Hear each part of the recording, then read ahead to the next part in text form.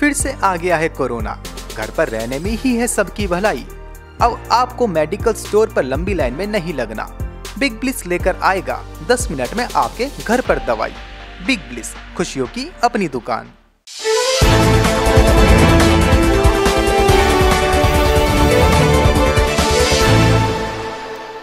यही सर जी, बात करें अगर बिनौला खल की तो बिनौला खल में हमने बीते ट्रेडिंग सेशन में अच्छी तेज़ी आते हुए देखी है। आज भी देख रहे हैं वो तेज़ी कायम है। 3303 पे क्लोज हुआ था, लेकिन आज एक फ़ीसदी की मुनाफा वसूली भी आई है। ऐसे में आपको क्या लगता है? मुनाफा वसूली यहाँ से बढ़ जाएगी या फिर जो कीमत है यहाँ से बिनौला खल की वो आगे बढ़ेगी? देखिए, मेरे को कोई भी कारण ऐसा नहीं दिखता कि जिसमें कॉटन और कॉटन सीड ऑयल में इमीडिएट फॉल आए। नो नो जैसे कि मैंने पहले भी कहा था कि मेरा उम्मीद है चार हज़ार तक का लेवल मार्च में दिखा दे। मार्च के खत्म होने के लिए छह दिन रह गए हैं। थोड़ा बहुत मार्केट में कंसर्न हम लोग से कंसर्न है डिमांड को लेकर।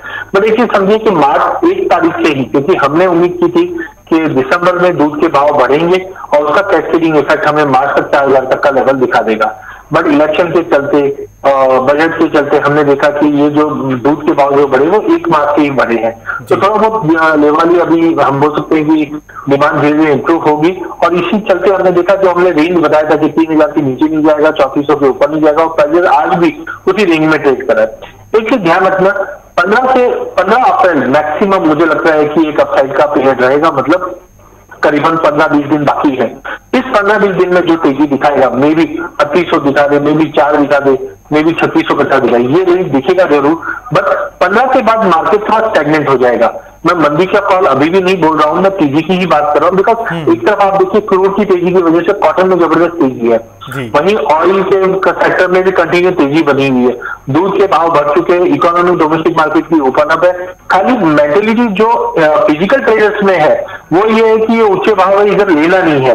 जबकि मुझे लगता है कि सौ रुपए की तेज़ी जब भी दिखा दे इमीडिएटली हाजी में भी बाइंग आ जाएगा। तो मुझे लगता है कि तीन दिन की, चार दिन की तेज़ी के बाद आज मार्केट आधे परसेंट की गिरावट के साथ ट्रेड कर रहा है। अगर बत्तीस, तीस, चालीस की रेंज में मिले, बिल्कुल लेके चलो। एक बार तैतीस सौ चालीस का लेवल तोड़ने दीजिए। आप देखेंगे दो सौ, ढाई सौ रुपया आपको दो दिन के अंदर ही तेज़ी दिखा देगा। तो overall cotton seed oil tech में बने रहिए। तेज़ी का रुख है। कॉटन में भी तेज़ी का रुख है। जी।